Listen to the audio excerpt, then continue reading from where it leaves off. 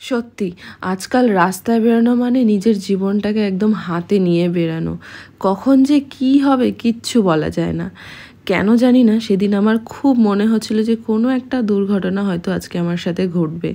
আর ভাবতে ভাবতেই সেই ভয়ঙ্কর ঘটনাটা ঘটে। আমি ছিলাম গাড়িতে আর রাস্তা ক্রসিংয়ের সময় অন্য দিক থেকে স্পিড গতিতে আসা একটা সিলিন্ডার ভ্যান সজোরে আমার পায়ে এসে ধাক্কা মারে। সাথে সাথে আমি মাটিতে পড়ে যাই আর ধাক্কা মারার কারণ জিজ্ঞাসা করতেই সে বলল যে আমার ব্রেকটা কাজ করে না। ঘটনাটা ঘটার দশ সেকেন্ডের মধ্যেই দেখি আমার পাটা আর পা নেই। সাথে সাথে জায়গাটা ফুলে ওঠে আর হাঁটার ক্ষমতাও ততক্ষণে হারিয়েছি। চারিদিকটা কেমন যেন অন্ধকার অন্ধকার হয়ে আসছিল আমার। কোনো রকমভাবে বরফ জোগাড় করে দিয়েছিল এক দাদা। আর সেটাকে ঠিক এইভাবে প্লাস্টিকে পেঁচিয়ে পায়ের মধ্যে আটকে রাখি।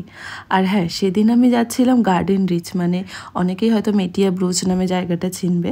সেখানে ছিল আমার একটা মেকআপের বুকিং অনেক কষ্টে বাকি এক কিলোমিটার রাস্তা পার করে তার বাড়ি অবধি যাই। সেদিন অনেক কষ্ট হচ্ছিল ঠিকই, কিন্তু এদিকে তার সুন্দর দিনটাকেও খারাপ করতে চাইছিলাম না।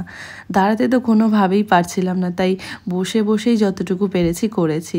আর বাড়ির লোকজন আমার এই কন্ডিশনস দেখি সাথে সাথে ওনারা ওনাদের ফ্যামিলি একজন ডক্টরকে আমাকে দেখান আর উনি এসে আমাকে একটা ব্যথার ইঞ্জেকশন দেন।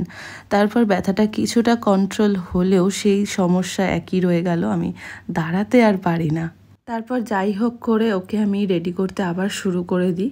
এই যে ওকে রেডি করছিলাম আর একদিকে আমাকে পায়ে বরফ দিচ্ছিল ওদেরই বাড়ির লোক।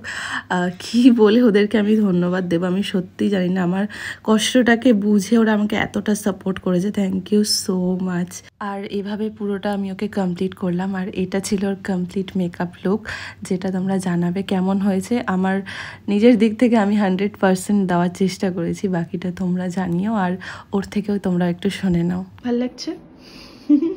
অনেক কষ্ট করে সাজিয়েছি তোমাকে। মনে থাকবে। মনে থাকবে সারা জীবন এটা। ভালো লাগছে তোমার? হ্যাঁ হ্যাঁ।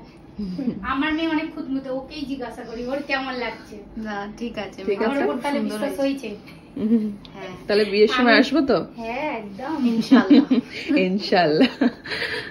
ওকে আর এটাই ছিল কমপ্লিট মেকআপটা ও একটা ভীষণ সুন্দর গর্জেস একটা গাউন পরেছিল। তারপর ওকে রেডি করে দিয়ে ছেড়ে কি কষ্টে যে আমি বাকিটা রাস্তা বাড়িতে এসেছি সেটা একমাত্র বোধহয় আমিই জানি। আর এটা আমার পরের দিন সকালে পায়ের অবস্থা একদম দেখার মতো ছিল না।